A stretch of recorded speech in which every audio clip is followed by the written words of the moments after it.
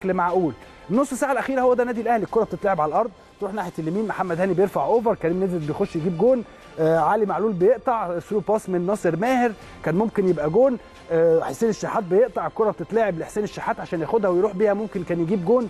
لو الكرة دي اتلعبت أو لو الكور دي كملت كانت هتبقى فارق كبير جدا جدا لصالح النادي الأهلي. عشان كده بقول لحضراتكم مش عايزين إحباط. مش عايزين دايما نبقى إحنا كجمهور أو كقناة أو كأي حد يعمل إحباط للفريق. الفريق محتاج مساندة خلال هذه الفترة. خدوا بال حضراتكم.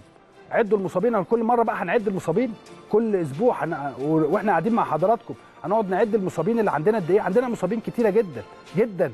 امبارح كمان وهنطمن بعد قليل إن شاء الله. حاولوا تجيبوا لي كريم برضو آه كريم أحمد مراسلنا من الجزائر. يقول لنا آه آه وضع وليد سليمان إيه دلوقتي؟ كان من المفترض إن هو هيروح يعمل أشعة النهارده ولكن وصلوا متأخر وبالتالي تم تأجيلها لبكرة بس نطمن أحسن من كريم أحمد.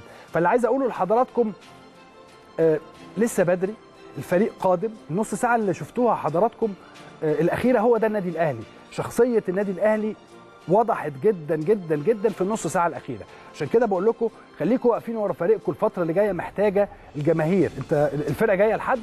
هتلعب الخميس وبعدين بعديها بثلاث أربع أيام هتلعب مباراة ثانية وبعد كده هت... هتروح تلعب في أفريقيا مرة ثالثه وهكذا. هي دي كرة القدم أو هي دي حياة لاعب كرة القدم في النادي الأهلي. في النادي الأهلي كده إن أنت تلعب هنا شوية وتلعب هنا شوية ودايما بتبقى محطوط تحت ضغط ودايما مطالب إن انت مطالب إن أنت تكسب وتكسب كل المباريات اللي أنت بتلعبها.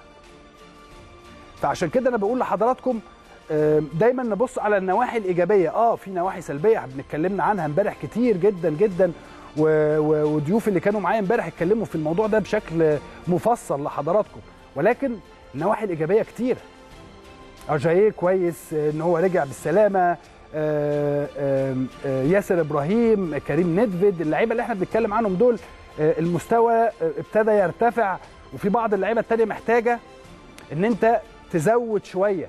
اللعيبة دي تزود شوية خلال الفترة تزود تركيزها شوية لأن بيني وبينكم برضو السفر والمروح والمجاي ده بياخد من اللياقة البدنية بشكل كبير جدا جدا جدا. فعشان كده أنا بقول لحضراتكم انتظروا القادم.